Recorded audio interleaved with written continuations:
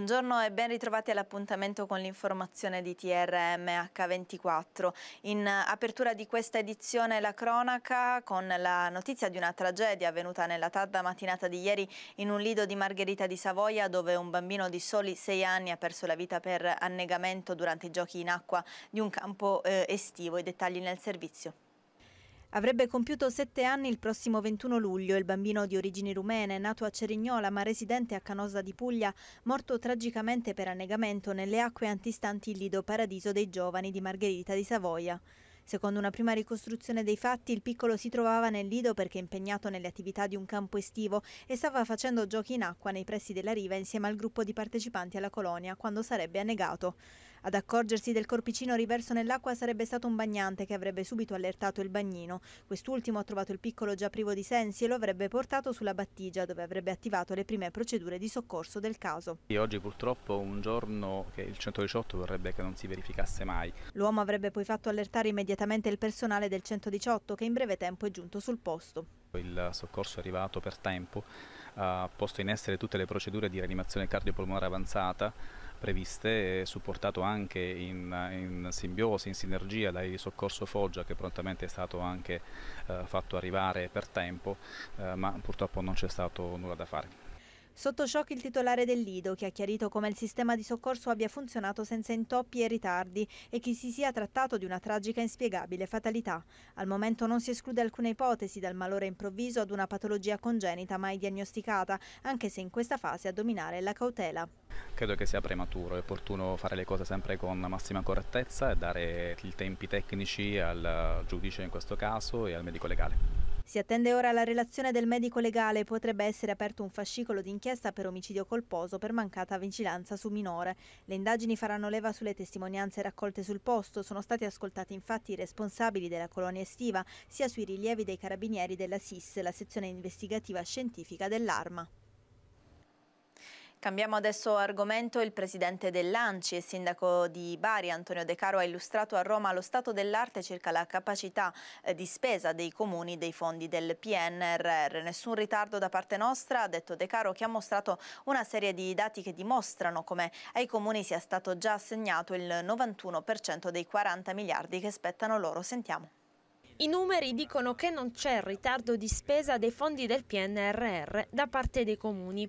Lo ha detto Antonio De Caro, presidente ANCI e sindaco di Bari, a Roma durante l'evento Missione Italia promosso dall'Associazione dei Comuni, durante il quale ha relazionato sullo stato dell'arte della spesa dei fondi provenienti dal Piano Nazionale di Ripresa e Resilienza alla data del 31 maggio scorso ai comuni sono stati assegnati 36,3 miliardi di euro, cioè il 91% della dotazione finanziaria che era prevista per i comuni. Dobbiamo ottenere 40 miliardi di euro, ci sono stati assegnati 36,3 miliardi di euro. Vuol dire che abbiamo fatto i progetti, abbiamo partecipato ai bandi e le risorse sono state assegnate a seguito delle progettazioni. L'ANAC certifica che da luglio del 2022 a metà giugno del 2023 in tutta Italia e da parte di tutti i soggetti attuatori sono state bandite 102.000 gare d'appalto finanziate dal PNRR o dal PNC i comuni hanno fatto 52.000 di queste gare, cioè il 51% del totale delle gare sono state bandite dai comuni. L'altro 49 è distribuito tra tutti gli altri soggetti. Lasciateci lavorare, ha aggiunto De Caro, rivolgendosi a chi ha sollevato più di qualche dubbio sulla capacità di spesa dei comuni, puntando il dito contro chi ha indicato i sindaci come responsabili dei ritardi del PNRR. I comuni, grazie ai fondi del piano, riusciranno, secondo il presidente Anci, a superare il divario nord-sud, perché proprio nelle città del sud che sta arrivando la maggior percentuale di finanziamenti e questo, ha detto De Caro, non è un caso. In chiusura del suo intervento De Caro ha chiesto semplificazione anche per le opere non finanziate dal PNRR, richiedendo una conferenza di servizi a 30 giorni per poter accelerare ancora di più sulla spesa e sulla realizzazione delle opere. E per il terzo anno consecutivo la Puglia si conferma prima in Italia per l'eccellenza delle sue acque di balneazione. L'assessore all'ambiente Maraschio ha detto è un risultato di un importante lavoro di squadra. Ascoltiamo. Aspira ad ottenere il 100% la Puglia, che per il terzo anno consecutivo si conferma prima in Italia per la qualità delle sue acque di balneazione, seguita da Sardegna, Molise e Toscana. Il risultato delle analisi microbiologiche condotte nel corso di quattro anni dal Sistema Nazionale per la Protezione dell'Ambiente ha quindi confermato l'eccellenza delle acque pugliesi per il 99,8%. È veramente una grande soddisfazione per il terzo anno consecutivo, quindi è un risultato ancora più importante perché mantenere quel risultato non è facile, siamo davvero i primi in Italia per qualità delle acque di balneazione, quindi veramente siamo molto felici. È una gioia per tutta la Puglia, per il lavoro straordinario che è stato fatto in questi anni, che si sta facendo in questi anni, investimenti significativi e poi tanto altro ancora, i controlli, i controlli di ARPA, ma anche diciamo, una sinergia incredibile con con eh, il lavoro dell'assessorato questo dato è un dato scientificamente inoppugnabile perché è fatto da ARPA e perché appunto non si basa su prelievi che vengono fatti diciamo in maniera ridotta ma eh, invece in maniera significativa e quindi è un dato importante. A livello europeo inoltre le acque italiane risultano migliori nella media dei paesi europei. Intanto sono già iniziati nuovi monitoraggi del 2023 che continueranno per tutta la stagione estiva. Noi diamo la qualità scientifica, lavoriamo sul mare tutto l'anno, lavoriamo in mare quando andiamo a fare i campioni, in laboratorio quando andiamo ad analizzare quasi 9.000 determinazioni analitiche all'anno e poi vorrei dire anche in fase di prevenzione perché nelle conferenze di servizi, nelle autorizzazioni cerchiamo di essere molto rigorosi perché questo consente poi di esercitare quel fenomeno di prevenzione che è uno degli obiettivi fondamentali perché con la sola repressione, con, la, con i soli controlli noi possiamo migliorare ma non possiamo confermarci stabili come in questi tre anni se c'è un'intera strategia che quindi porta avanti a tutti i livelli, migliorare la depurazione, aumentare i controlli e intervenire nella fase autorizzativa per fare in modo che gli investimenti ci siano ma siano sempre sostenibili. E a Foggia invece è emergenza rifiuti con cumuli di immondizia ammassati in strada vicino ai cassonetti che sono già eh, ricolmi. La difficoltà di conferimento dei rifiuti nel biostabilizzatore di Passo Breccioso infatti sta rallentando la raccolta in tutta la città. Vediamo. Quel che si temeva è accaduto. Dall'inizio della settimana Foggia è alle prese con l'emergenza rifiuti. Le immagini sono chiare, immondizia fuori dei cassonetti ricolmi. In centro come in periferia la situazione è preoccupante emergenza preventivabile dopo il cortocircuito creatosi nel biostabilizzatore di Passo Breccioso che da tre settimane sta contingentando l'accesso per lo scarico dei rifiuti raccolti nel capoluogo Dauno e in più di un centro della provincia. Non dipende da noi, puntualizzano in Amio par di capire che i rifiuti non vengano raccolti perché non possono poi essere smaltiti, una situazione già verificatasi in passato e che quindi appare non risolta visto il suo ripetersi. Davvero brutto lo scenario che si presenta al CEP, con i cumuli di immondizia a pochi metri dagli scivoli e dai giochi del parco per bambini. L'impasse rifiuti con il caldo africano di questi giorni rischia seriamente di creare un'emergenza sanitaria con conseguenze preoccupanti. E sarà presentato, è stato presentato a Bari il progetto Puglia Digital House per promuovere la Regione Puglia come nuovo distretto nazionale per tutto il mondo dell'impresa innovativa. Vediamo.